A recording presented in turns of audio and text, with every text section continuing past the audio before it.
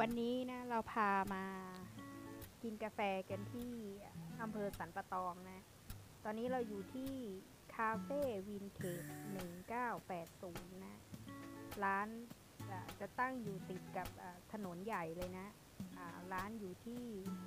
ตำบลบ้านกลางนะอำเภอสันปะตองจังหวัดเชียงใหม่นะ